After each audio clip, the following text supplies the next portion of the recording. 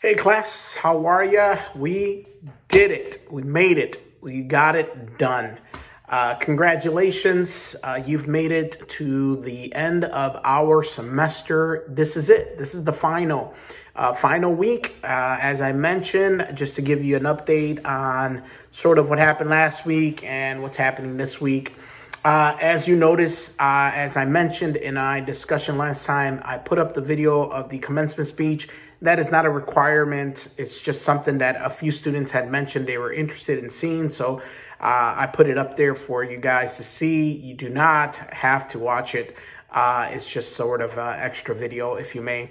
Um, other than that, uh, tell you a little bit about last week. We basically finished strong. Uh, we're done. We uh, got the last discussion in. Um, I promised you guys I was going to remove the time limit off of the final. That has taken place. You should not see a time limit. Please remember, please remember that that is something I did for this class and this class alone. If you have me in other classes, that is not guaranteed. Um, that is something that I did because of all the scenarios that we've been living through and the, some of the situations that we've been confronted with during our semester. So I uh, hope you guys took advantage of that, got a great grade on your final and your midterm. Um, all the discussions were uh, done, completed. All you have to do this week is complete your final. Please make sure you do that before Sunday midnight because then it goes away and it doesn't come back. Um, as you guys knew from day one, I don't accept late work. I, I kind of uh, I frown upon that. I think we should move forward. But as a help, what I have done is I have forgiven several weeks of your lowest grades. So I hope that balances off. I know that, you know, a lot of people say that uh, it's a little tough to not take late work. I, I do I do understand your point of view, but I also bring that balance by forgiving a couple of assignments that way in case someone um, had a difficult week or had an uh, unfortunate week it doesn't put me in a position where i have to judge who should or shouldn't get um, exemptions or extensions. I think that, you know, all of you have a valid reason why you wouldn't do some work. So I just across the board forgiven the lowest grades on certain weeks. So anyhow, that being said, uh, this video really is just to sum it all up, bring it to a close, uh, bring this semester to an end. I wanted to let you know that I will be reading all the discussions and going through them and grading them. Hopefully before the end of the week, you should be able to see your final grade in Blackboard. Uh, whatever that final grade is, is what's going to be transferred over to the banner or to my GNTC. Uh, grades will not be posted on my GNTC for a few weeks because everyone has to close out their semester, update all that. But if you wanted to get an idea, once you're done with your final, you should be able to see your weighted grade on Blackboard, which will be the grade that's transferred in to your final record. So um, I, I, get a lot of emails at the end, usually saying, What's my final grade? I can't issue that via email because there's a violation of privacy in regards to that.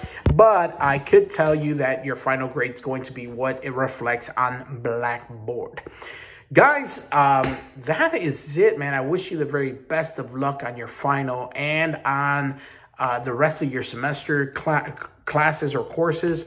Um, if you have not yet registered for summer, please do so. Get in there and do so unless you're taking the summer off. Um, how to reach me in case you need me in the future. There's a couple ways we can connect uh, outside of uh, GNTC.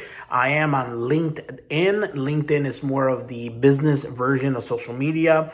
I, I, am not extremely active on LinkedIn, but I do use it and I, and I uh, keep in contact with a lot of colleagues that I, through my life and connections. So if you have a LinkedIn account, uh, find me and let's connect. Uh, and then on a more personal level, uh, if you want to follow my journey and story uh, with this uh, kidney uh, issues and anything that happens in my life, I'll be speaking um, in a couple weeks in a Juneteenth event, in a conference, in a gala. Um, if you want to see clips of that and just follow my journey through all of this, I use a, a personal public page on Facebook um, under my name, Leyner Argueta. If you want to connect that way, you can as well. Um, so on the other side of things, if you needed something dealing with school, um, you know, my, my email is the easiest way to get in contact with me. If you need a reference or something, please uh, let me know ahead of time. That way I have enough time to fill something out for you. Uh, and uh, as long as you've been a great student, as long as you've been a participating student, uh, I'll be more than happy to be one of your references. Uh, if uh, you know if you didn't do too well, I don't recommend you use me as a reference.